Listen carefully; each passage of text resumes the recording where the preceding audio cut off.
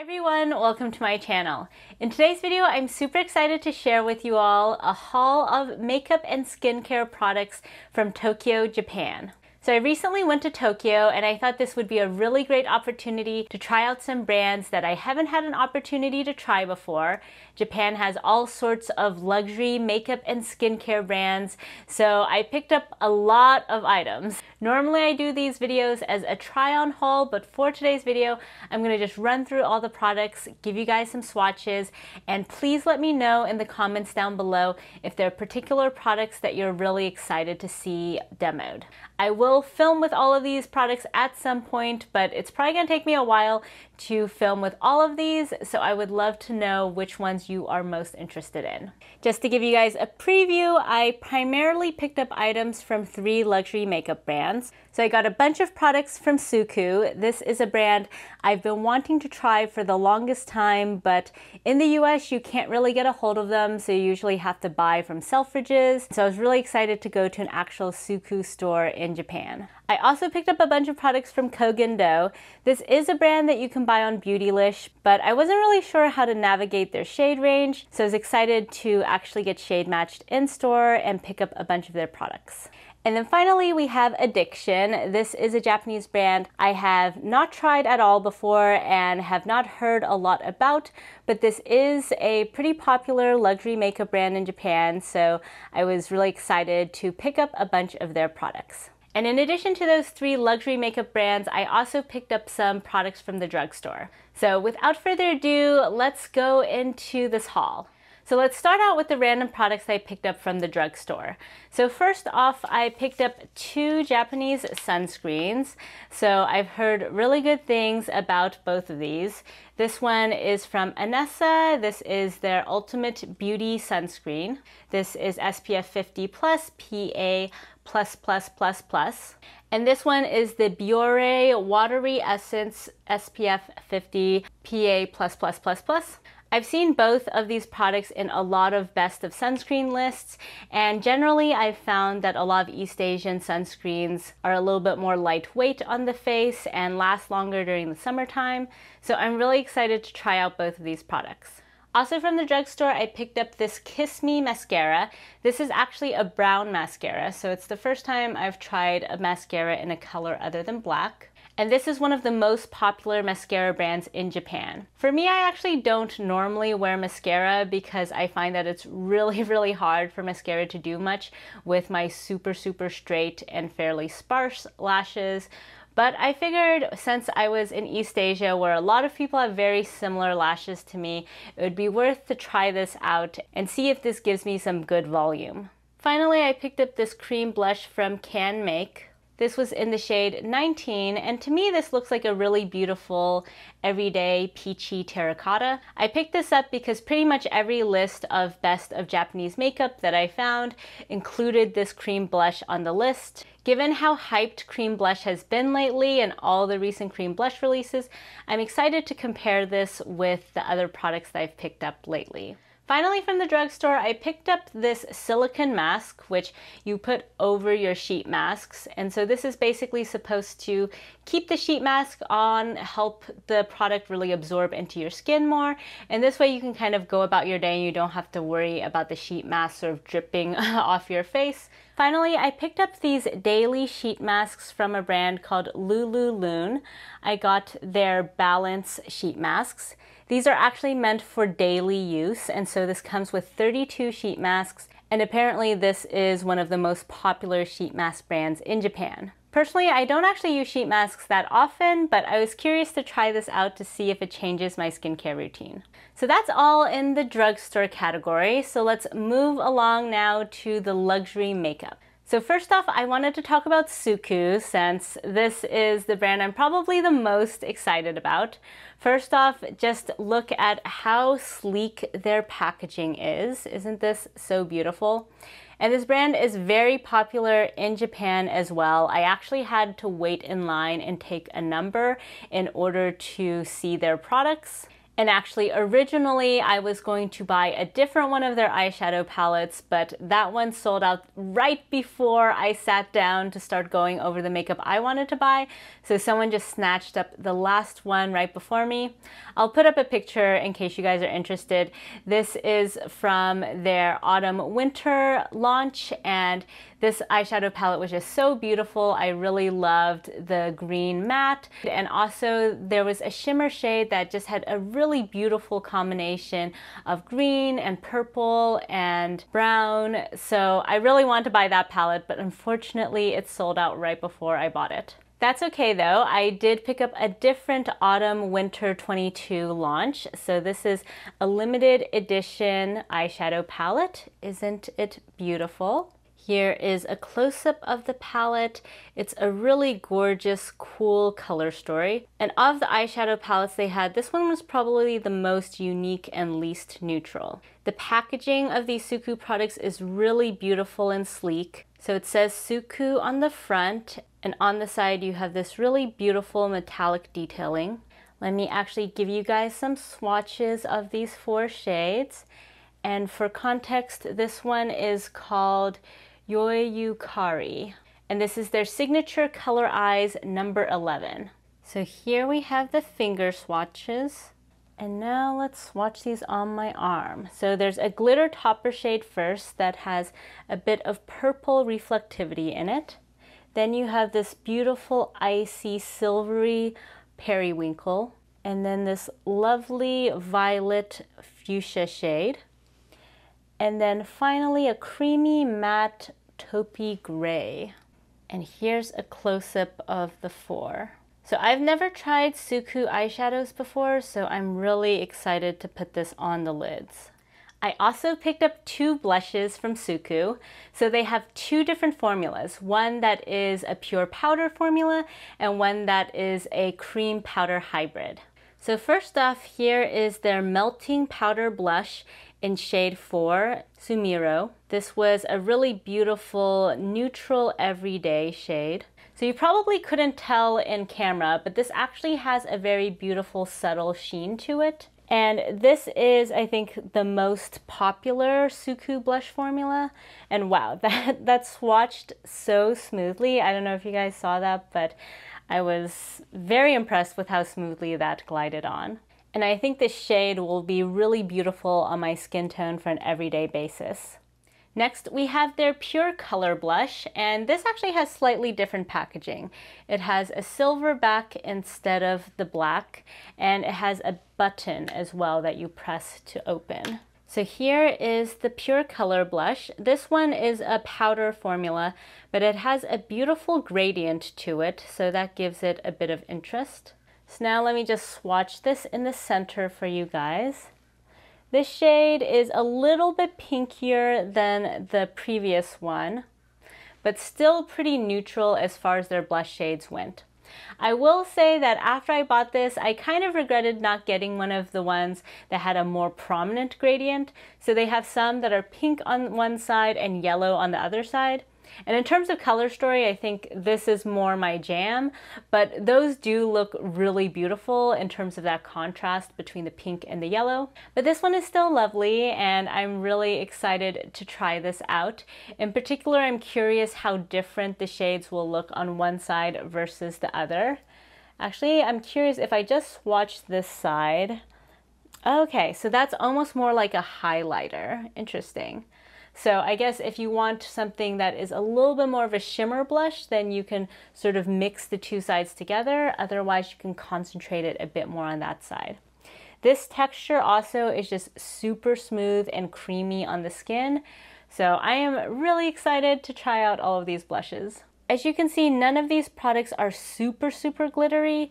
Other than this glitter topper in the eyeshadow palette, everything has much more of a satin sheen to it. And for many people, I think that's the attraction of Suqqu. It's a really beautiful, everyday formula that is flattering for a wide variety of ages. The last two Suqqu products I bought were these lip products. And so if you guys watch Alicia Archer, also known as Kinky Sweat, you know that she has been raving about these products from Suqqu for the longest time, so I was super excited to finally pick these up. So they're two separate formulas. One is more matte and the other is more satin. And you can actually maybe see that from the packaging. So yes, you can see that this actually has a matte finish, whereas this has more of a shiny satin finish. Starting with the matte one, this is their Comfort Lip Fluid Fog. I was in a neutral mood when I bought these products, so this is in the shade 8 Harutsumi. Oh, and the top also has a beautiful metal accent. Let me just give you guys a quick swatch of this. Ooh, it's very moussey and creamy, quite thick upon application.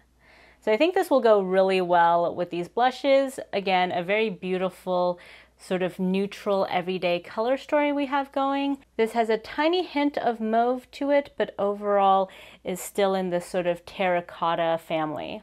Next we have the Comfort Lip Fluid Glow. I have this in shade number four, which is Iro Gure. And let's swatch this as well. Ooh, so this one's a little bit more warm.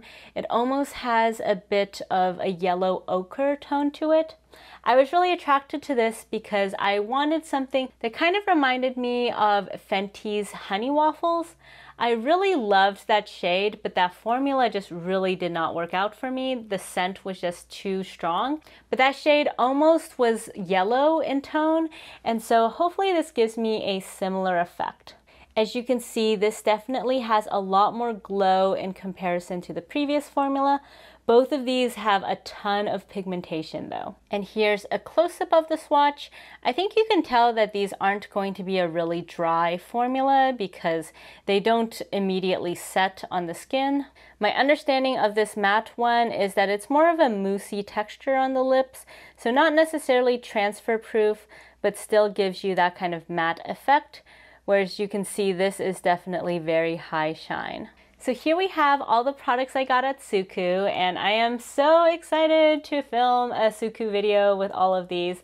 Suqqu's been one of those brands that I've been really wanting to try for the longest time. I watched a lot of people's videos about Suqqu, but every time I went to the Selfridges website, I was like, I don't really know if I want to pay for the shipping or sign up for their annual plan, given that other than Suqqu, there aren't really other brands that I could only buy on that site. So I was really excited that this Japan trip gave me an opportunity to actually pick up some of their products in person. That said, one thing I will make note of that kind of surprised me is these products from Suqqu in Tokyo were actually a bit more pricey than the prices I saw online at Selfridges or other retailers. I didn't realize this until after I made my purchase, so you know, price-wise, it probably would have been advantageous actually for me to have just bought these online. I don't really mind because I'm still excited to have these, but I did just want to make note of that in case you're debating about buying them online. The prices online are actually pretty good at the retailers that you can access in the US and Europe.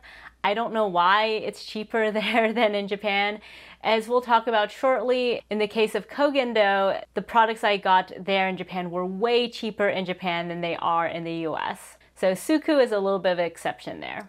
But before we move along, let me just also just share what else came with this Suqqu haul. So they gave me this envelope here, which included their catalog in case you're interested in other Suqqu products. So really beautiful products all around. If I like what I've bought so far, I'll definitely be looking into these additional products as well. And then they also gave some skincare samples. So they gave one of their refining serum and then their hydrating lotion enriched concentrate, their replenishing fluid, liquid foundation. Ooh, that's exciting actually. Hmm, hopefully this shade works for me. This is shade 1 15, which just the sound of that sounds like it's going to be pretty light, but I am excited about this because the Suqqu foundation is one I've been really wanting to try as well. So we'll have to demo this in the Suqqu video. Then we have a treatment serum primer and a cleansing oil. So in my dedicated video, I'm going to have to use this primer and this foundation. Fingers crossed that works well. But I am excited to try out all of these products. I haven't really heard much about Suqqu skincare, so this is definitely going into my next travel bag. Okay, it's getting super hot in my room, so I put my hair up and put the blinds down a bit, so hence the lighting change. But I know I said this is not going to be a try on haul, but personally I really love spoilers. So I did take off my lip gloss. So I'm going to go in with one of these products from Suqqu.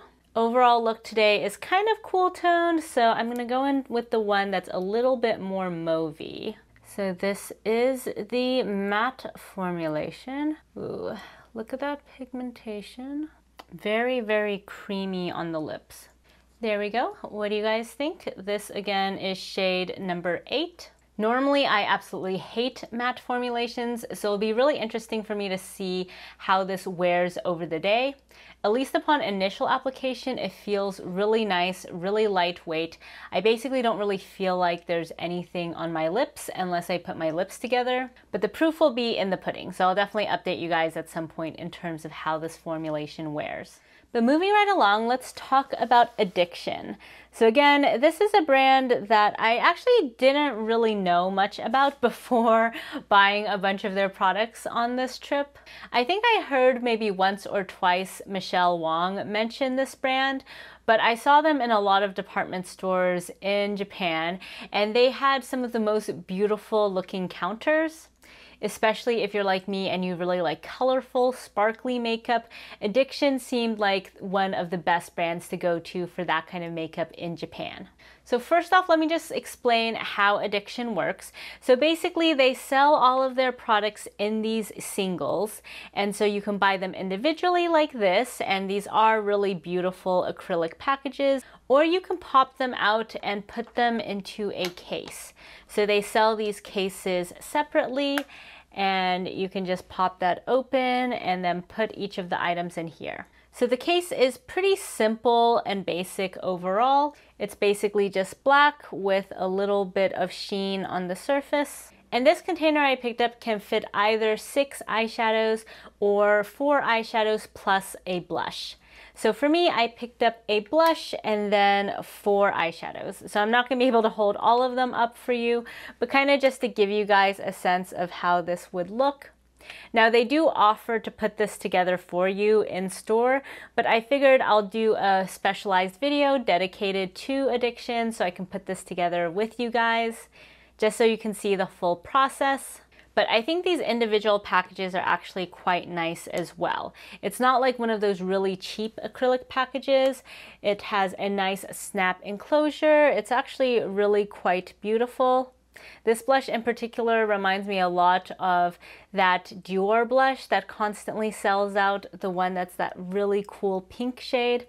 I've had it in my Sephora wish list for the longest time, but hopefully this is a good substitution for that. So let me actually go ahead and just swatch the blush for you guys and then go through the four eyeshadows I picked up. So here is the blush. I picked this one because to me this was quite a unique shade.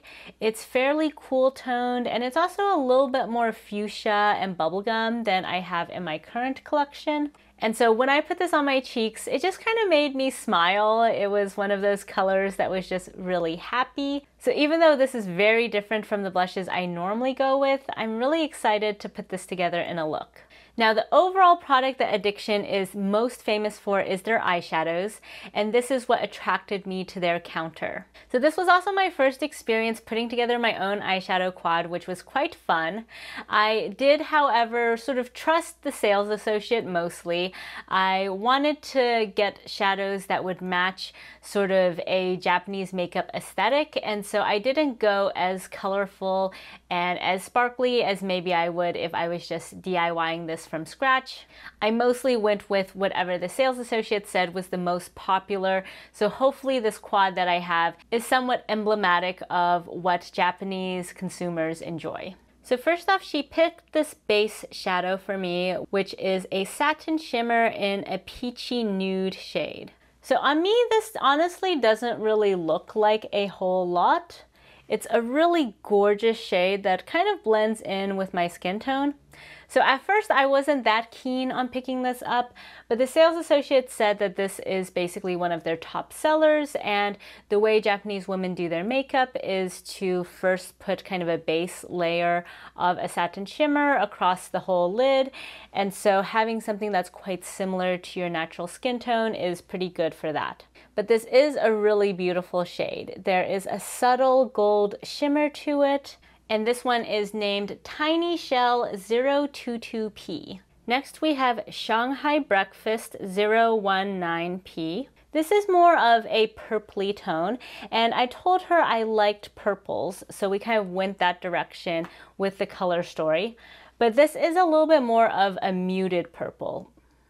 As you'll see, overall this palette that I have is quite everyday friendly, is quite neutral. I'm really excited about this shade though. I think it's a way to kind of have something that's not brown, but still is fairly neutral. So you can incorporate purple in an everyday look in a way that is quite natural. This is also a satin shade, though it's slightly more matte in comparison to the previous shade. Next we have Gypsy Queen 020P and this is the deepening shade. So this one is also technically a satin shade, but it kind of doubles as a matte. As you can see, there's really not much shimmer to it. These two are basically in the same formulation. So again, they're kind of like the transition shade and the deepening shade, but with just a slight bit of satin pearl in them. And finally, we have the gorgeous show-stopping glitter topper. This is in Mariage 004SP. So this one I am really excited about. This basically gives me Pat McGrath Astral Solstice vibes. It's a really high shine formula that has a little bit of chunkiness to it. So this I think will go well on top of basically any shade. As you can see, it's mostly kind of a white reflect and it doesn't really have any base pigment to it. The sales associate also said this is basically one of their top sellers. So I was pretty intrigued to try this even though it's not necessarily unique in my makeup collection. So to zoom you guys in, here is my palette from Addiction. So I will say this blush is a little bit more popping than the rest of this. So I don't know if I'll actually wear all of these shades together. But I was just really excited about this fun purpley shade, so I had to pick it up even though it didn't quite go with the rest of the look. In terms of the way the sales associate recommended putting these on, this is basically supposed to go all over the lid. This is supposed to go along the lash line to the crease. This is supposed to go along the lash line, kind of like a liner. And then this is supposed to go last just on the center of the lid and then a little bit on the lower lash line for some glitz. The final product I picked up from Addiction is this Skin Protector Color Control. This has SPF 40, PA+++, and this is in the shade Fresh Beige. This product is basically a super lightweight color corrector slash serum, foundation, skin tint type of product. So you can basically wear this on a no makeup makeup day just for a little bit of blurring on the skin. So I'm normally not a huge no makeup makeup kind of person, so I wasn't actually originally going to pick this up, but when I asked them what their most famous products were, they said that for a while this was considered one of the number one cosmetics products in all of Japan, and so I figured since I don't go to Japan that often, it would be fun to just pick this up and try it out. And I have used this once and it did look pretty good overall. I think if you're having a really nice skin day and you basically don't need any coverage, this can kind of act as a second sunscreen and provide a little bit of a blurring effect. I'll have to keep trying it out though before I give you guys my final verdict. Before we move on from addiction, let's go into what else I got in this bag from them. So similar to Suqqu, they gave some pamphlets with all of their products. So they do have all varieties of different kinds of makeup products, but as you can see, the eyeshadows are definitely some of the most popular products. This is really beautiful marketing material, by the way. Just look at all of these different eyeshadow shades you can pick from. Wow. Isn't that fun? Look at all of these. If I go to Japan again, I think it would be fun to create a palette that's more based on my own aesthetic rather than trying to get the quintessential Japanese aesthetic.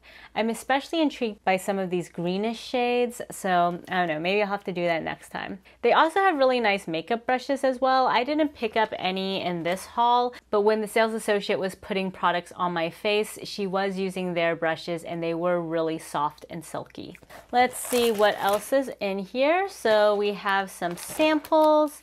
Interesting. I do not know what this is. Okay, so this is a sample from a brand called Facialist. It's their dual moist lotion. Interesting. It says quasi drug on it, so I suppose it's supposed to have some medicinal effects. And then we have this, and I'm not really sure what this is. It feels like a napkin, so maybe this is a makeup remover wipe. Interesting, I'll have to try this out. Then we have the Addiction Oil Cleanser and another sample of their skin protector. This is the clear version, that's SPF 50. So that one's more like a sunscreen. And then they actually gave me this mini of their skin protector in the pink shade. And so that's more color correcting. So I guess effectively I have three shades of their skin protector at this point. I have clear, beige, and pink. So it'll be interesting to try those out and see if there's much of a difference. But you can definitely see that they are pushing this skin protector product. All right, so that is all for addiction. And the last thing I'll just mention about addiction was I thought it was pretty nice the customer service they had. So, in addition to having them put all the products on my face using really nice, luxurious Fude brushes, it was also a white glove experience in terms of presenting to me my purchase. So, the way it worked was after I decided on the products, the sales associate went to pick up some new ones, and then she would sit there and actually for each each of the boxes, open them up for me while wearing white gloves and very carefully opening each box. So then I could just see the products and verify that I had everything that I wanted. So I thought that was just kind of a nice touch. Everything in Japan customer service wise is just a little bit more refined than what I'm used to in the US, but certainly addiction pushed it up several notches. And also they actually got someone to be a translator just to help me as well because the sales associate didn't actually speak English. So there's a separate person there who worked for the department store who was just there to translate. So, overall, amazing customer service. I was there for like an hour picking all this out, trying products on my face, and they were incredibly nice and incredibly helpful. So, to round out this haul, let's go in with Koh Gen Do. So, I also picked up a bunch of products from Koh Gen Do, but a bit more complexion oriented. So first off, I picked up three packages of their spa cleansing water wipes. And I have bought so many of these packets already. So they do sell these on Sephora, but they're extremely expensive. It's around $70 for three of these, which is a lot because each of these only has 10. So we're talking about roughly $2 per cleansing wipe. These were so much more affordable in Japan though. This was like $10 or less. And so I picked up three of these and I was super excited about that. If anything, I kind of regret not picking up more of their cleansing spa water. In case you're curious, their cleansing spa water is basically like a micellar water, but far more gentle than any micellar water I've ever tried. So for me, I wear a lot of eye makeup whenever I do makeup, and especially I do put products in my water line. And I find with most makeup removers, pretty much every makeup remover actually other than this, it's quite irritating for me to remove the product on my waterline. But this is the one product where I can actually go in there and directly touch the product on my waterline and feel no irritation at all. And it's also just incredibly effective. I've tried a lot of makeup removers that aren't actually that effective at removing makeup, even though they're quite gentle. So for me, this has by far been the best combination of efficacy and also comfort and just being very gentle on the skin. So even though these are super expensive on Sephora, I always buy them. And so I was so excited to pick this up in person in Japan for a much discounted price. In addition, I finally picked up their Aqua Foundation, which is one of their hero products. This is a foundation I've heard so many rave reviews about. And this one is available on Beautylish, so if you guys are interested in this, you can buy it in the US. But I was super, super confused about their shade range, and so I got shade matched in store. The sales associate picked out one, two, three for me. So that is this over here. Let's actually take a quick peek just to see if this will be a good shade match for me. If you guys watched my Korean makeup haul, you know that even though I got shade matched in store in Seoul, those foundations were not remotely my skin tone. There's kind of a tendency in East Asia to prefer very brightening products that are much lighter than your skin tone. But let's see, hopefully this works for me. So let me just put one pump of this just so you guys can see it. And I will dedicate a video to this so we can actually really do a wear test and such. But let's see. Okay, I think that will work for me. It does look a little bit light. I could probably go one shade deeper, but I think this will work. And this is a really nice, creamy, hydrating feeling on the skin. Ooh. Very nice. So that's kind of the finish it leaves. Ooh. I am very excited about this. In case you guys aren't familiar with Koh Gen Do, their founder was in the movie industry. I think she was an actress at one point, and so their products are supposed to look really, really nice in high definition on camera, but still be very gentle on the skin and look really nice in person. And at least based on this swatch, I am finding this very promising. I mean, now you, I don't think you can see it at all. It's kind of just blended into my skin. But if you see that slight dewiness, that's from the foundation, and it's definitely very blurred and perfected there. Ooh. Okay, so I'm, I'm super excited to try out this foundation. This is for many people a holy grail foundation, so can't wait to give this a test. And then the last product I picked up was this face powder from Koh Gen Do. This has SPF 50 plus PA plus plus plus, and this is in the shade Soft Beige. So I actually didn't particularly want a powder that had SPF in it, but I was trying to find the powder that Michelle Wong always raves about, and this one looked the most similar to that because it does have a slight tint to it. They also had a powder that was completely translucent, but that looked quite different, and so I'm not really sure if this is the one that I thought it was, but in any case, this is the one that is the best selling in Japan, so I'm quite excited to try this out. It comes with this really beautiful, luxurious powder puff. So I'm excited for that because I feel like powder puffs are really in nowadays. So I'm not going to open this right now because I don't want to get powder everywhere. But this is also a product that I've heard is many people's holy grail powder, especially for dry skin. And so I'm super excited to try these two products out together and see how they work. So that's it in terms of my Tokyo makeup and skincare haul. I would love to hear in the comments down below if you guys have tried any of these brands or products. And also please let me know which products or brands you would be most interested in seeing in a video. I do plan to do a video on Suqqu, a video on Koh Gen Do, and a video on addiction. But since none of these are really new releases other than that one Suqqu eyeshadow palette, I probably won't prioritize these over other makeup content in the coming months. So definitely let me know if there's something you do want me to prioritize and I'll bump that up. If you like this video, please give it a thumbs up and if you haven't already, please subscribe to my channel. Thank you all so much for joining me, and I'll catch you next time. Bye!